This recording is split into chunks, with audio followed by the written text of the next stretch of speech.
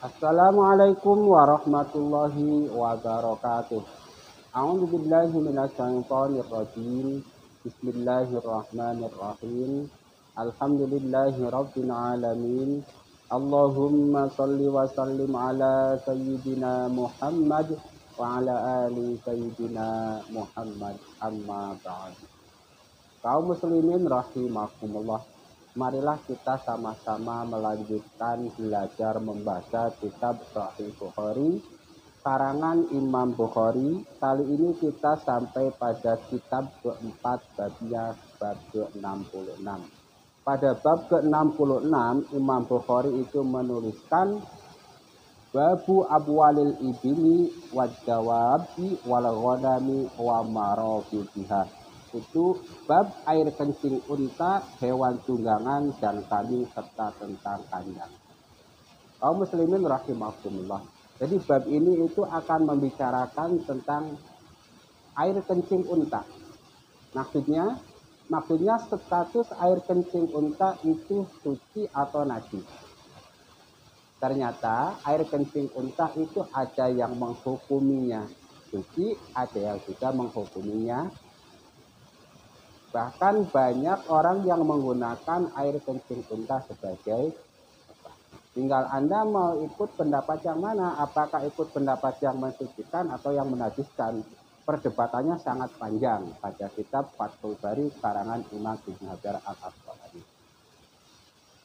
Lalu dikiaskan dengan air kencing unta itu adalah kambing, juga hewan-hewan berkaki empat lainnya. Tapi yang umum itu mengatakan najis gitu ya.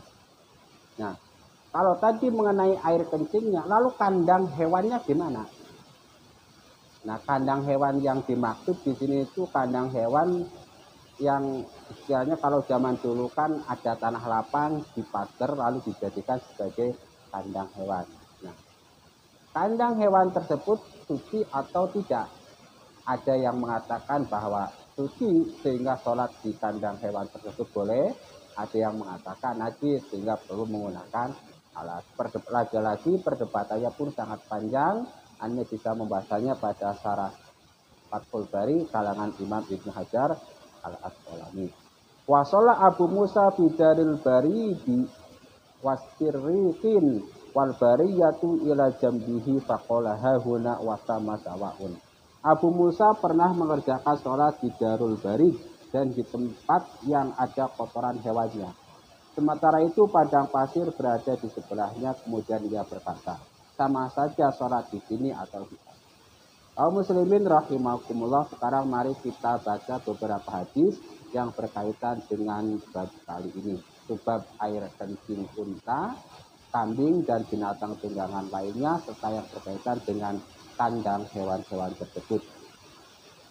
Pada hadis nomor 232, 33 maksudnya, Imam Bukhari menuliskan hadasana Sulaiman bin Harbin Kola, hadasana Ahmad bin Zaid nan Ayub nan Abi Silabah nan Anas Kola, Qadima unasun min Uflin au Hurainah au Hurainah.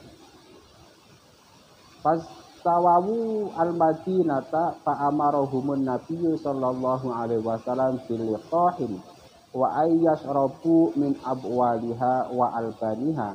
Fangtolaku falamma sahu qatalu ra'iyan nabi sallallahu alaihi wasallam fastasqun nama faja'al khabaru fi awalin nahari. Faba'asa fi atarihim falamma tafanga an-naharu bi adihim fa amara qata'a aydiyahum wa arjulahum wa summirat a'yunuhum wa ulqu fil qarrati yaktafuna fala yusqauna qala Abu Kilabah wa haula'i taraku wa qatalu wa kafaru wa ba'da ba'da imanihim wa harabu wa rasulah. Sulaiman bin Harb meriwayatkan kepada kami ia berkata Ahmad bin Zaid meriwayatkan kepada kami dari Ayub dari Abu Kilabah dari Anas ia berkata, sekelompok orang yang berasal dari Ukel atau Uraina datang tetapi mereka merasa udara Madinah buruk untuk kesehatan. Lantas Nabi memerintahkan mereka untuk mendatangi unta-unta betina milik beliau, serta meminum air kencing dan air susu unta-unta tersebut. Mereka pun pergi melaksanakan anjuran Nabi tadi setelah sembuh. Mereka malah membunuh pengembala Nabi Shallallahu Alaihi Wasallam dan membawa pergi unta-unta tersebut. Pada pagi harinya sampailah berita tersebut kepada Nabi Shallallahu Alaihi Wasallam Lalu beliau mengirim utusan untuk mengikuti jejak mereka. Pada saat matahari meninggi siang harinya, mereka dibawa ke hadapan beliau lalu beliau memerintahkan agar tangan dan kaki mereka dipotong serta mata mereka dicungkil lalu mereka dibuang ke arah hamparan bebatuan hitam mereka minta minum namun tidak diberi minum Abu Kilabah berkata orang-orang tersebut sudah mencuri, membunuh, murtad, sesudah beriman serta memerangi Allah dan Rasulnya. Yang dijadikan jalur dari hadis ini diketahui bahwa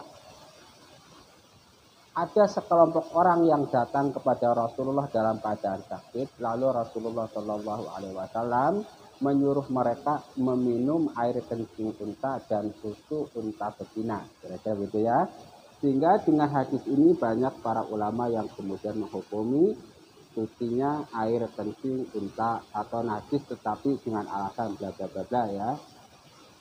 Nah, pada hadis yang lain dituliskan Imam Bukhari itu pada hadis nomor 234 ada sana Adam kola hadasana su'bah kola asbarona Abu Tayyah Yazid bin Umaid dan Anas kola karena Nabi Shallallahu Alaihi Wasallam yusolli qabla ayyubnal masjidah fi marabidil ghanam. Nah, yang dijadikan dalil bahwa dahulu sebelum dibangun masjid Nabi Shallallahu Alaihi Wasallam mendirikan sholat di kandang kambing. Jadi Rasulullah sendiri pernah sholat di kandang kambing sehingga kemudian hadis ini dijadikan dalil oleh para ulama yang menghukumi sucinya kandang kambing dan dikiaskan dengan kandang kambing, kandang-kandang binatang lainnya. Mudah-mudahan bermanfaat. Jangan lupa like dan subscribe channel ini. Rabbana taqabbal minna innaka antas samiul alim wa tub alaina innaka antat tawwabur rahim. Subhanakallahumma wa bihamdika asyhadu an la ilaha illa anta astaghfiruka wa atubu ilaik wal Wassalamualaikum warahmatullahi wabarakatuh.